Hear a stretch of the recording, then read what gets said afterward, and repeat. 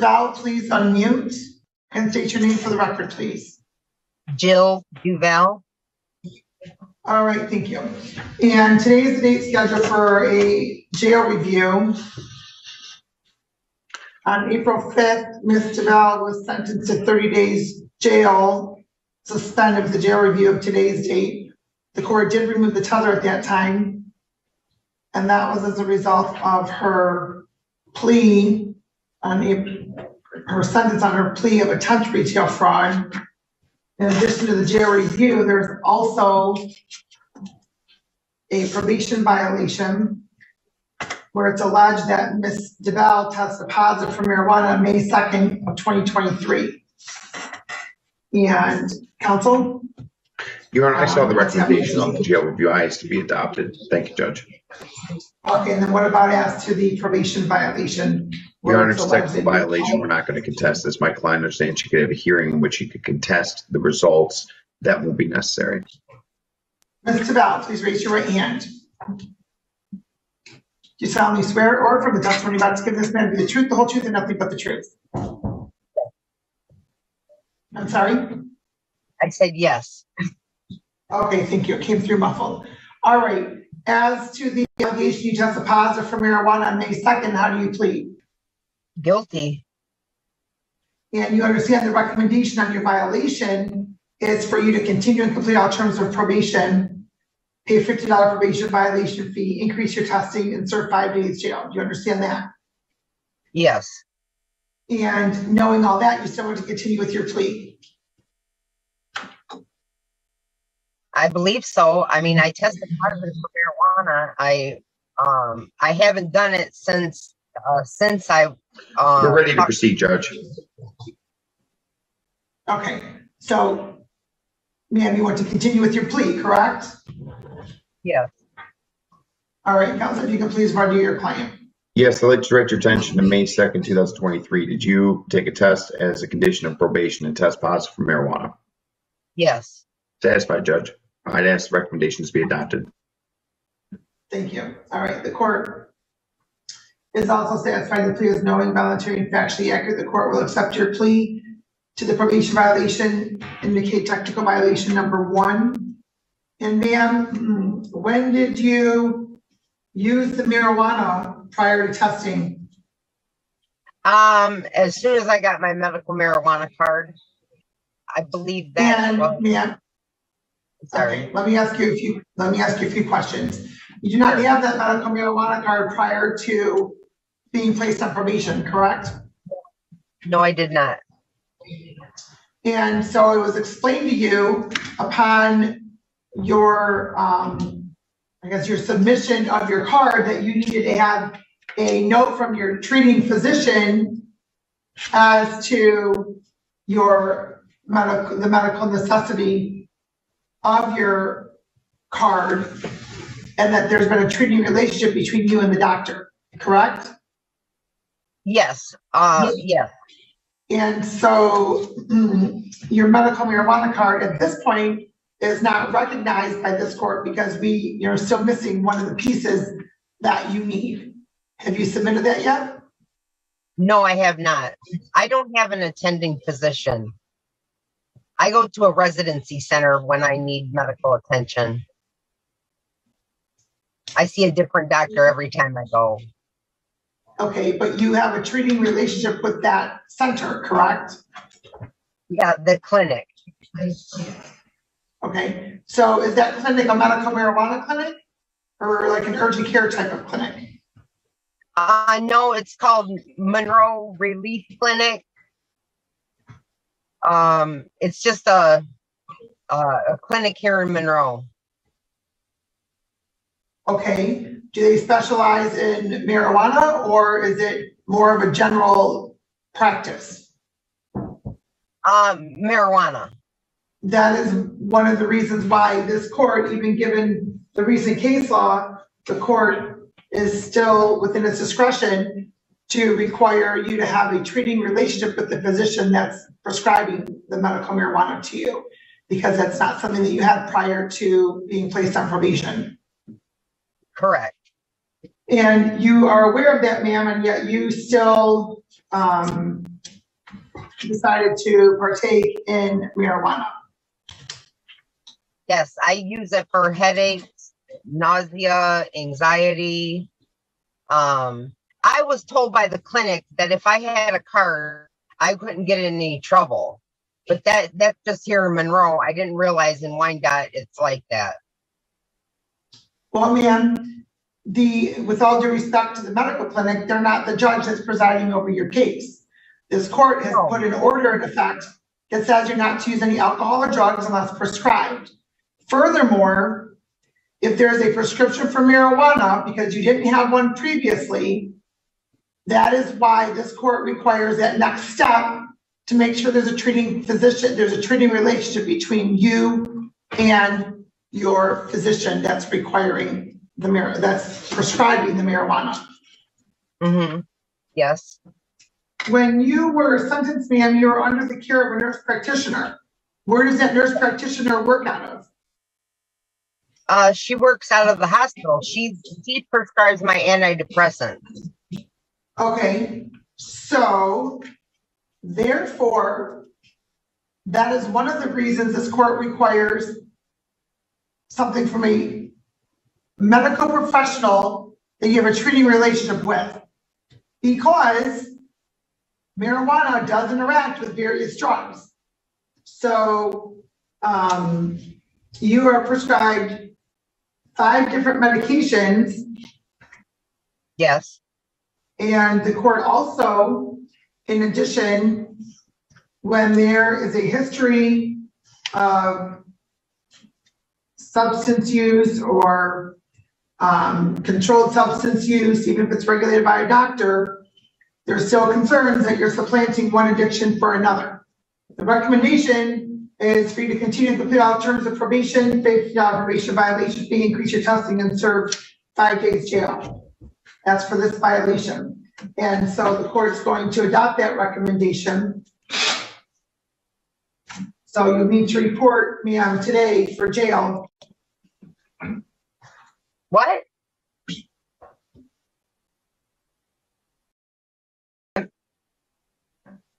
I was under the under the impression that this jail sentence would be suspended. Well, let me clarify. So on your jail review, the recommendation was for your jail review be adjourned for two months. On your probation violation, the recommendation is for five days jail.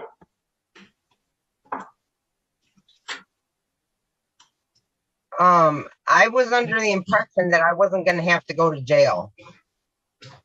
Ma'am, on your probation order, it indicates mandatory additional incarceration for any violation.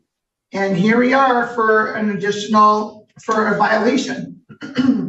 The court already suspended your thirty-day jail term that the court sentenced you to back in April. Well, um, I, I, if I go to jail, I'm gonna lose my job of ten years. Well, ma'am, Your, Your Honor, I would potentially request a, uh, a, um, a report date so that you could make the necessary arrangements. how much notice do you need to give to your employer, ma'am? I'm sorry? How much notice do you need to provide to your employer? If I tell, 'em- if I, I, ca- I have no, there's no way I could miss five days and keep my job. You don't have any paid time off, you've been there for ten years. Yeah, um, I've taken, I've had time off. Um, I, I don't have, I don't have five days to take. All right, well, ma'am, let me just indicate this. You were charged with retail fraud. And you were given an amended charge of attempt retail fraud, despite having three prior retail fraud convictions on your record. The most recent one was December of 2021. You received a generous, you received a very generous plea. This court indicated at the time of sentencing, in addition to some other conditions, incarceration, and we suspended that for a jail review. The court also indicated mandatory additional incarceration for any violation of probation. And here we are today on a violation of probation. You were put on notice, ma'am, that there's mandatory jail for any violation. Well, I didn't think I would be violating having a card. I, I didn't think I would be violating. I didn't, I didn't know. I figured if I had a card in Monroe, they told me if I, when I got it here, and I know it's not the judge, you, it's not you. But that's what I was told, that I wouldn't be in any harm's way by, by, uh, smoking marijuana.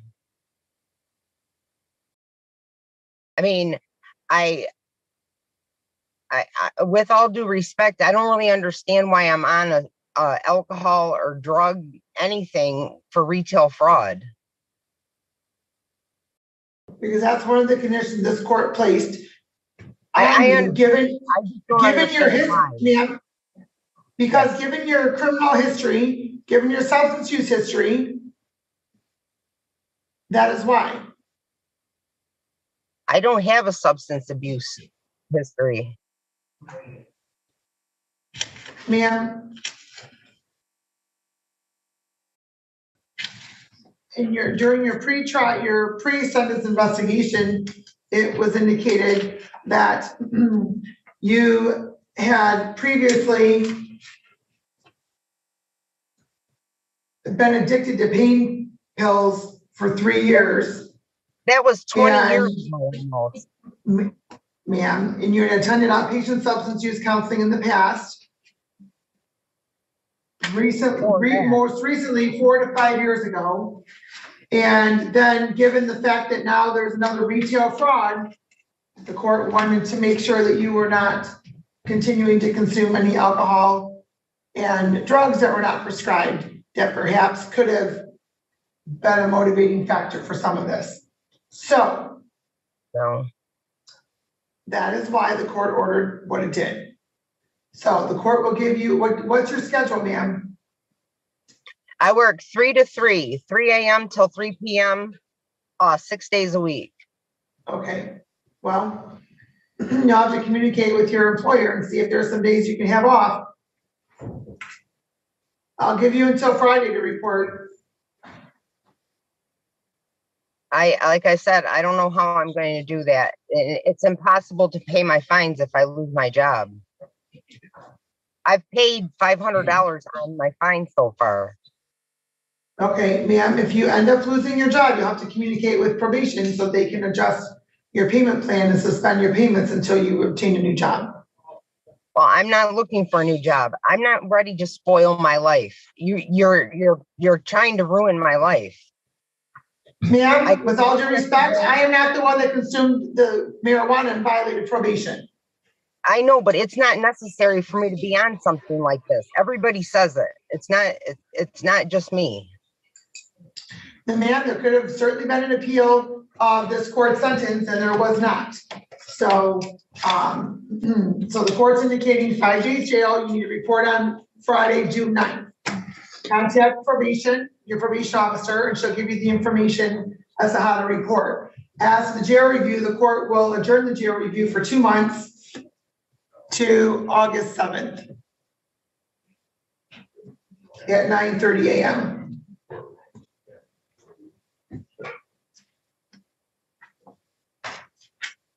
Anything else, counsel? No, Your Honor. All right, anything else, ma'am? I just don't, I just don't see why I'm gonna lose my job of ten years over this. Ma'am, this court put you on notice that there would be mandatory jail for any future violation. Yeah, You're I here for a violation, excuse me, excuse me, you're here for a violation. You tested positive for marijuana. This court has not approved your marijuana use at this point. Therefore, the court is speaking through its written orders, and it's five days jail. Like I said, I just, I don't understand why this is gonna ruin my whole life over smoking some marijuana for, for something that, that makes me feel better when I am in pain. Then ma'am, then you need to follow the court's directives as far as what's required in order for you to be able to use marijuana for medicinal purposes. Well, the, if I get a note from the doctor that gave me the marijuana card, um, I was under the impression it isn't good enough. What, what do you, the one that gave you the medical marijuana card, correct, you don't have a treating relationship with that person. You're, you're, you have a, you have a treating relationship with a nurse practitioner that's prescribed to you your other medication, correct? Yes, Okay, then that would be the medical professional that you need to chat with. okay. If I am to get a letter from a physician, would this suspend this five days jail? No, ma'am, because you didn't have one at that time, no. Please email into your probation officer by ten thirty. Thank you, Okay, You have a good day. We're going to be off the record. twenty years. No, oh my God, what a asshole.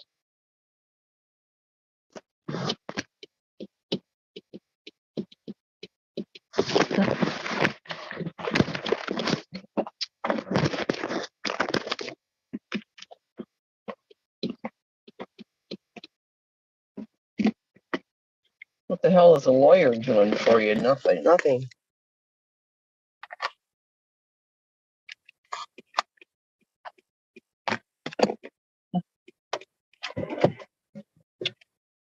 Oh my God.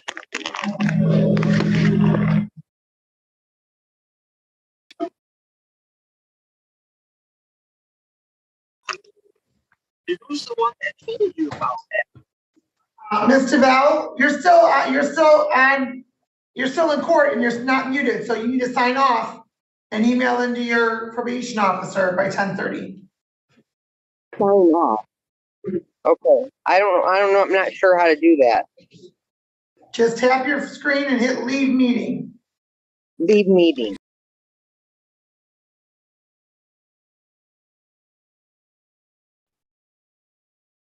Court is calling two thousand twenty-three CR two-two-seven-nine, State of Texas versus Roger Nick Jones. Can I have parties announced for the record for the state? Lindsay Shaw, Defense, Angela Blake. are you Ms. Jones? Yes, ma'am. Counsel, have you received all the discovery? Did you review it with your client? Yes, Your Honor. Court will find that the state is in compliance with discovery. Ms. Jones, I'm showing you what's entitled Application for Deferred Adjudication or Community Supervision. Did you review that with your attorney? Did you understand it? And did you sign it? Yes, ma'am.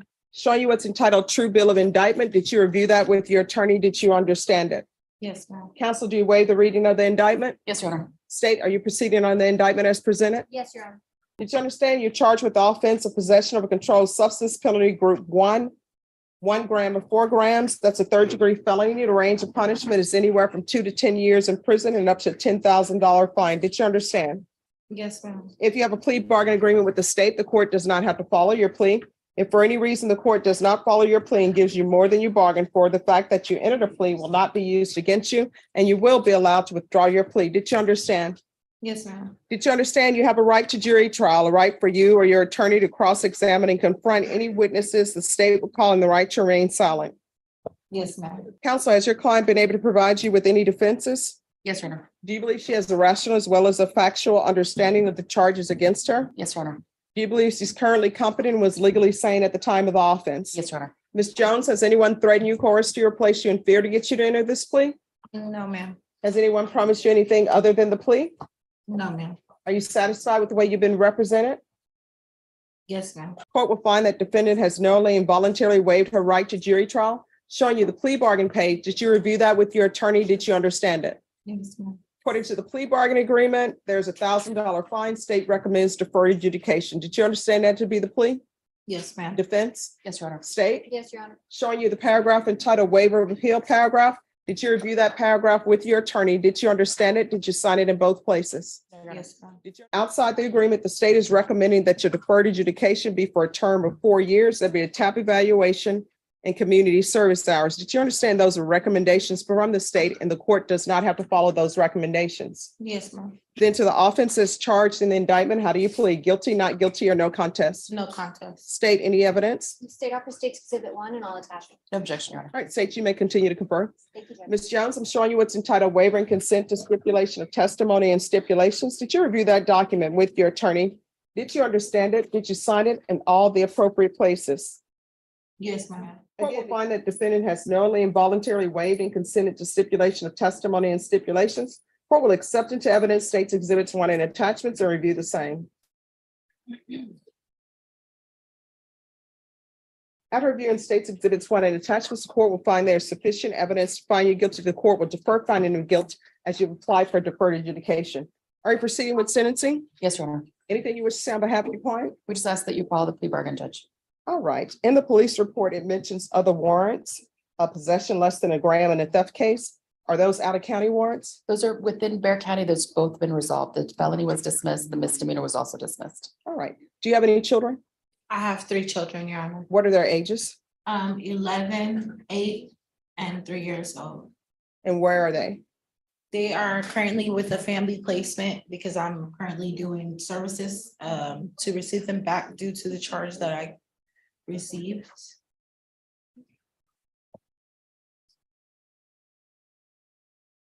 And so what's your drug of choice?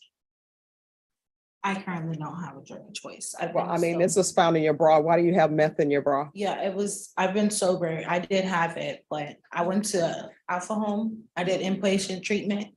And so I have not been, but I did have it and I used to use it, but And when is the, uh, when were you released from inpatient treatment and alcohol? um, March thirtieth.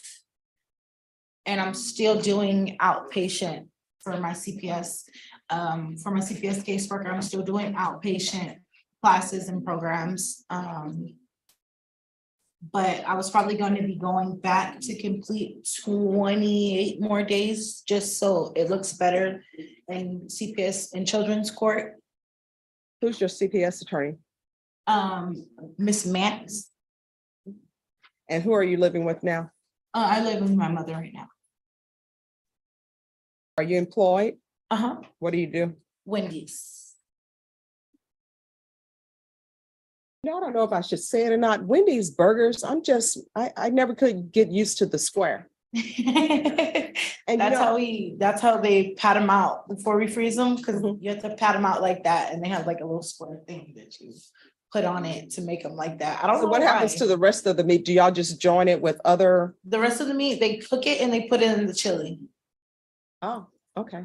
I remember when Wendy's first came to Louisiana. And you know, that was a lot of money, right? So we go to Wendy's because we're like, can't go to Mr. Swift's, which was the burst burger place, even though it was in Grand Cane, Louisiana. Mm-hmm. And, you know, I don't know why we thought McDonald's tasted good. But we go to Wendy's, we're spending our last little money on Wen- Wendy's. And I'm telling you, the fact that they boil, you know, they boil their burger. Do y'all still boil the burger? No, To keep it, no, they don't boil them anymore. the It's- only, They freeze them and then we take them out and put them on the grill. And then afterwards, if the meat is still in good condition, chop them up and they put them in the chili.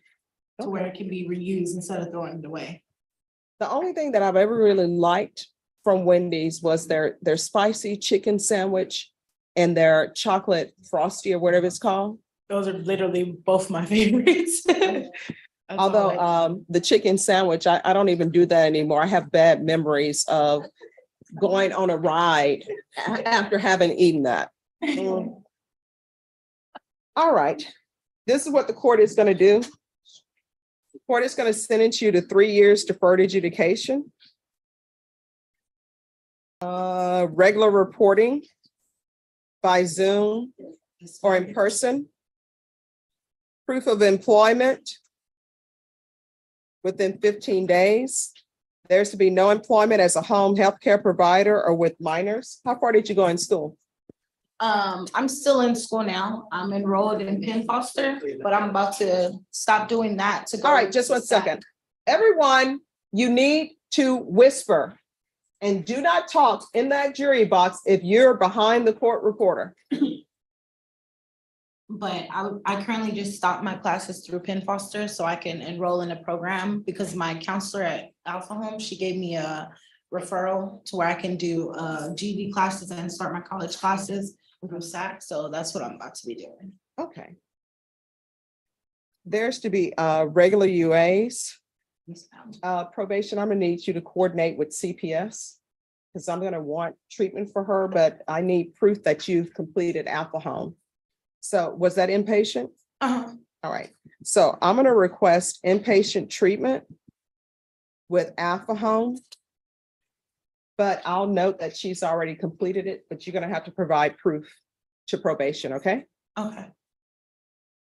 Are you doing any sober meetings? I do that, that's why I'm still doing the outpatient with Alpha Home. I'm no longer there because my mom, like I take care of my mom as well, so I've been doing the outpatient, but I still meet with my counselor there. I still meet with my sponsor. I go to the Tuesdays, Thursdays, and the Friday meetings Okay. every week. All right, so probation, she needs to provide proof to you that she's completed the inpatient. If she's completed the inpatient, then we're gonna require her to continue with outpatient treatment through Alpha Home. Uh, we're gonna do field visits. One time per month. And probation, if you want to count the field visits as reporting, you can count it as reporting. And if you want to coordinate with CPS to make sure that they're doing visits and CPS does them, then those can count. Uh, CPS compliance. Uh, three hundred hours of community service restitution. That will be satisfied once you've completed parenting classes in your GED. So in order to complete your three hundred hours community service restitution, you need to complete the GED courses and your parenting course, courses and probation that can be through CPS. Uh, probation, is there anything else she needs? No, Your Honor. Is there anything else you need from the court to be successful? Um, no, ma'am. In order to the court assess a fine, we would just ask that if the court. No, I Okay. did not. that's right. Uh, yeah, don't reach, you, you can't do that. You, you're just asking for trouble by doing that. Oh, just come around. I'm gonna show you what's entitled Trial Court Certification of Defendants' Rights to Appeal. Did you review that with your attorney? Did you understand it and did you sign it? Yes, ma'am. All right, because this is a plea bargain agreement, because I followed your plea bargain agreement and because you waived your right to appeal, you do not have the court's permission to appeal. Do you understand? Yes, ma'am. All right, we can go off the record. How old are you? I'm twenty-six. All right, you're twenty-six. You have three children. Mhm. These three children are one hundred percent dependent upon you. So, And only me. and only you. So if you don't do what's required of you, what's going to end up happening is CPS is going to terminate your rights and they're going to end up who knows where with who knows who. I've done plenty of CPS cases and what I can tell you is this. And you can take it and use it or not use it. Do not get involved in any relationships until your children are of age. And let me just tell you why I say that. Yes, this could be a hallmark moment where you meet some guy who's uh, working at Wendy's who comes in and next thing you know, he's a corporate CEO. But that really only happens in Hallmark. Or it can turn out to be a lifetime movie. I like children. I think children are great. But when you have children, they're suitcases. Think of them as suitcases. Yeah. The eleven-year-old is a suitcase, it's the eight-year-old, the three-year-old, and I'm not talking about carry-on. They're check baggage. Mhm. And then you're on probation, that's another suitcase. So any guy or partner you get with, you need to make sure that they're okay carrying those suitcases. And if they're not okay, you shouldn't be with them. I'm really just focused on myself. You should. Relationship is like, it's like the last thing Thank you. Like, I'm really focused on my growth and what I need to do for myself and my kids. Because I don't want to just have a job, I want a career, I want to build stability. So when I'm gone, my kids have something. Like, I don't want to just be that parent that their kids can't learn anything from. Because I was a young mom, but still, that's no excuse. Right, I want you to remember what you said to me. So when you come back here, I expect all of that to be true. Okay. As my um mother, her teacher would always tell them, don't end up with some joker. And my teacher in high school, Mr. Reed, would always tell us, don't end up with a joker. So don't end up with a joker, okay? Okay. All right, probation, we'll go over conditions with you.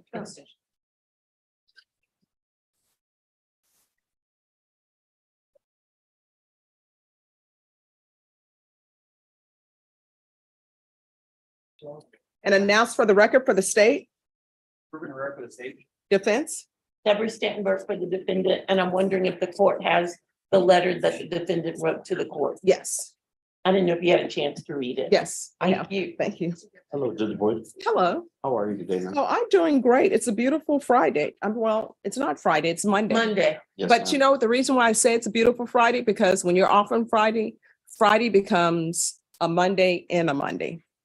All right, uh, according to the, you entered a plea uh, to kidnapping of no contest on March twentieth, two thousand twenty-three. According to the plea, punishment is to be assessed at ten years in the prison. The state opposes your application. They're taking several cases into consideration. There's an affirmative finding of family violence. Have parties had a chance to review the PSI report, state, Yes, Your Honor. defense? Yes, Your Honor. Any objections, state, No objection. defense, No, Your Honor. uh, state, any witnesses? I have one more. Your Honor. Defense, any witnesses? Other than the defendant, no. All right, would you like to, uh, are there witnesses? Yes, Your Honor. Oh, you want to call her? I thought it was for victim impact statement after sentencing. We will be calling her as a a witness. I can't hear you, Mr. Rivera. Yes, we will be calling her as a witness. Your Honor. All right, uh, call your witness. Mr. Tovar. Your Honor, and I would object to her testifying to anything that we would consider to be a victim impact statement that should be presented to the court after the judge sentences. Okay, all right, call your witness. Your Honor, we call Jennifer Tovar. All right, Ms. Tovar, if you come forward.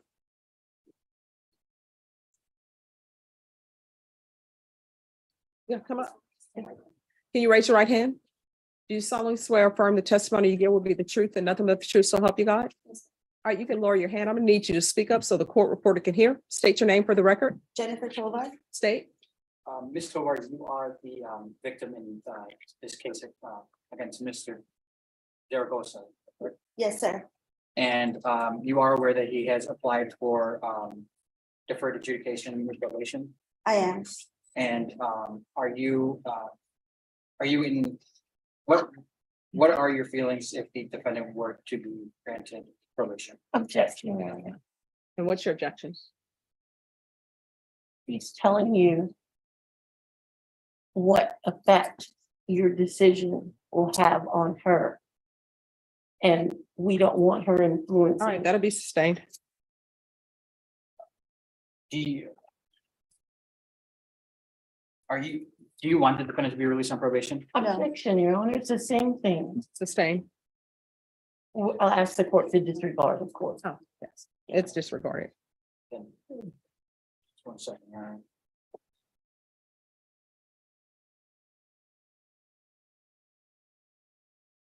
Um, Ms.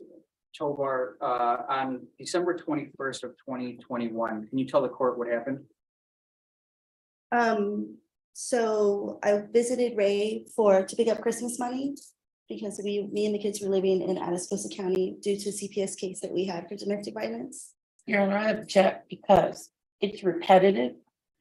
Everything about that offense is in the police report, which was presented to the court as part of our plea package. All right, so just so all parties are are aware, I've read the stipulations in its entirety. I always reread those before sentencing, and I read them once I make a decision on whether there's sufficient evidence to find somebody guilty. And I've also read, thoroughly read the TAIP evaluation. So uh, you can ask your next question. Yes. Um, Ms. Tovar, have you had any contact with the defendant since these allegations? Yeah, so he calls, he calls the house and speaks to myself and the kids. Um, I guess when he can, because he doesn't. No, have any there's objection, non-responsive. She answered his question. All right, that'll be overruled. You can continue. Oh, so he, um. He, he has to use, I guess, a free collect call that he has, because he doesn't have any money on account to call us. Okay, So, and I don't fund it anymore. I just did for a little while around Christmas time, but, um. No, he's, only when he gets a collect call, he can call. And Ms. Tovar, you currently have a protective order against the defendant? I do. And do you feel that is, uh, that is sufficient to keep you safe? No, And why is that? It Objection, didn't Your in the Honor. first What is your objection? She's commenting on what your decision will ultimately do to affect her and her children. All right, that'll be overruled. You can answer the question. Um, no, I don't think so. It didn't in the first place. It didn't. He was, Ray was still coming around and still calling. And um. While these cases were pending, you did have a no contact order. Against Right. defendant, correct? Right. But I was, I was, I thought, I was told that, um, to let him talk to the kids. So even though we have a no contact order. And that's why, you know, I was taking calls so that he could talk to the kids. I didn't want anybody to say uh, that I wasn't allowing it.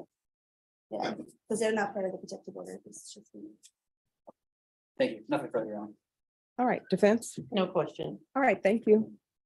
State, do you have another witness? No other witnesses. Your Honor. Defense? Just the defendant himself. All right, if you'll come forward.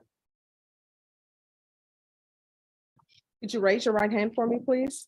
Do you solemnly swear or affirm the testimony you give will be the truth and nothing but the truth, so help you God? Yes, Your Honor. All right, you can lower your hand, state your name for the record. My name is Zaragoza Ray Tawada Junior. All right, defense. Thank you. Mr. Tovar, did you want to address the court with regard to why are you requesting her to give you probation? Yes, I feel that uh, given probation, I could uh, complete probation. As you know, I haven't been in trouble before, Your Honor. This is the longest I've been in jail. I feel that I've made a mistake. And if you read uh, the current note I wrote to you, Your Honor, uh, it describes more of my feelings. I want to apologize to the court and I want to apologize to my wife. Who uh, We've been together eleven years, ten years. Been with the family fifteen years. All I know is my family, Your Honor. And I'm asking for your leniency and your mercy, Your Honor. For probation classes, so I can better myself. Thank you. All right, state any questions? Uh, yes, Your Honor, briefly. Um, Mr. Uh, Tovar, Yes, sir. um, in this case, you're charged with a uh, violation of a bond of protective order as well as a repeat violation of a uh, bond of protective order in addition to the kidnapping, correct? I am, It was. I was, And um, given uh, that the, that there was a no contact order protecting Miss Tovar um, from you, you violated those no contact orders. that is wrong. She came to my home. And moved in with me because she had no place to live. I wasn't gonna leave my wife and my kids out on the street. So I did not violate it. She came to me and that's how I violated it. But you were made aware that any contact with Ms. Tovar would be a violation of those bond conditions, is that correct? I was aware, but I was not gonna leave my kids and my wife out in the street, sir. Um, and, um. in This, uh, kidnapping case, you did tie up Ms. Tovar with duct tape, is that correct? No, that is incorrect. And, um. You said you've never been in trouble before, but you did have a case out of Atascosa County, Texas. For a violation of, uh, bond or protective order in, in that county as well, isn't that correct? That was for phone calls for talking to my children, which I had. Uh, the right to do. And if you check the, the records, the. It says for electronic communication, I was allowed to talk to my kids. And you did abscond during that case on February 9th of twenty twenty-three, is that correct? Is that, You, you. Just didn't do anything and you failed to report. I was in jail. Okay, It's not that I failed the report, it's, I couldn't go. okay. I was in custody. Uh, I'm sorry, I said during that. That incident, I was in custody, so I couldn't go over there. I have no further questions, Your Honor. Any further No, questions? Your Honor. All right, any other witnesses? No, Your Honor. All right, the court will hear argument. State, you're opposed. Yes, Your Honor, we're opposed um to the defendant being granted probation. Um, while. You heard from the victim that she does not feel protected just by the no contact order and that. The the fact that he was charged with a repeat violation of court order bond condition twice. Um, which are being taken into consideration in these off, in this offense, Your Honor, um, shows that the defendant. Whether or whatever the allegations were, completely disregarded the court's order. Um, and telling him that he's not supposed to have any contact with the complainant. But what about his saying that she came to live with him? But you, Your Honor, regardless of what the allegations are, if he, if he knew that he had these charges pending, No, I, I understand that, but isn't that mitigating the fact that she chose to go and live with him? Now, I understand financially there are issues, but a no contact order, of course, it's a document, it's on paper, and the defendant knows they're not to have contact with them.